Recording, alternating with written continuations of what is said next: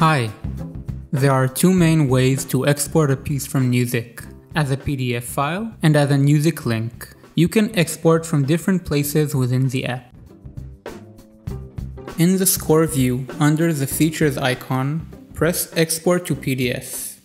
Under settings, you can include annotations, visible layers. When enabled, the annotations would be included in the export. Visible layers refer to the layers in the annotations.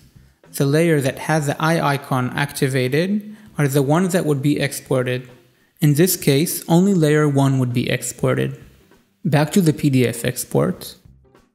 When include crop is enabled, the export would take into consideration the crop adjustments you have made. Export parts.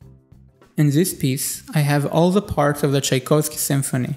By default, all parts are marked in V and are going to be exported. In case you want to choose just one of them, you can deselect all and tap the desired part or parts. When you finish, press done and choose the way you wish to export.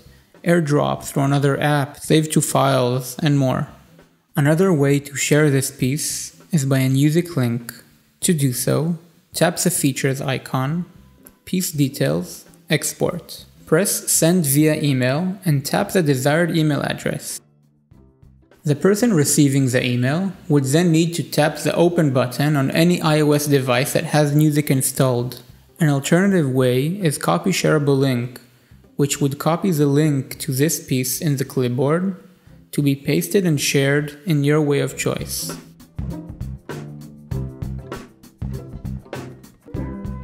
You can directly export your piece from the library or from within a setlist by swiping a piece to the left and choosing Export. There are two ways to export a setlist. First is by swiping a setlist to the left and pressing Export, and second is after entering to a setlist, pressing the Export button.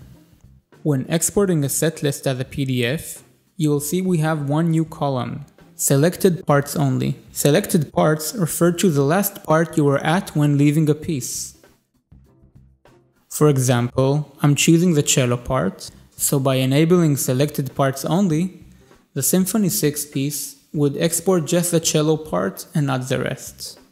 Another way to share a setlist is by converting it into a project, which is a collaborative environment that can be shared by multiple Newzik users simultaneously.